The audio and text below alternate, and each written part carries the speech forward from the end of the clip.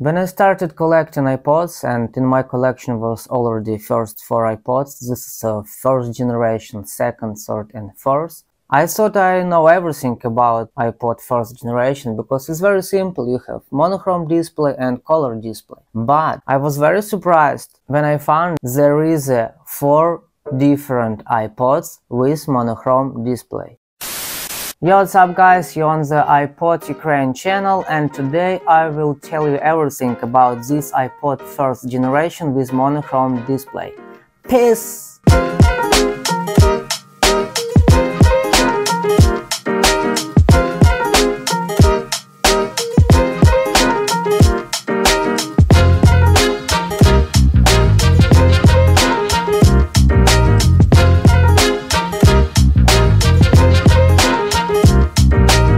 So guys, here's iPod 4th gen with monochrome display, or you can call it click wheel in four variations. This is the first iPod from this line, it was introduced in 2004. iPod click wheel or iPod 4th generation. This is a two version of this iPod, 20 gigabytes and 40 gigabytes storage. The second one is iPod plus HP. It was collaboration between Apple and Hewlett Packard. I will make a full video about this iPod. So also it was two versions of storage 40 gigabyte and 20 gigabytes. The next one is iPod U2 Special Edition.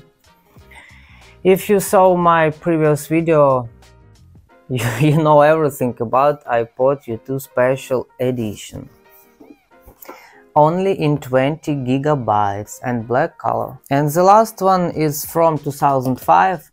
As you can see, these three boxes are big one and this box small. It includes poor set of accessories. And actually it's not my favorite model from this four. So guys, it was a short video for the sick collectors like me because regular collector has only one iPod fourth generation with monochrome but if you're crazy you need to have four iPod with monochrome display so there is also fourth generation iPod with color display and also has four different variations. I will shoot also about this. So write your comments below what you think about this, which one of these do we have, maybe you have four.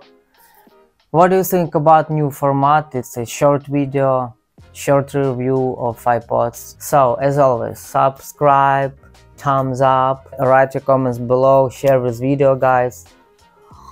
Oh, this is the end.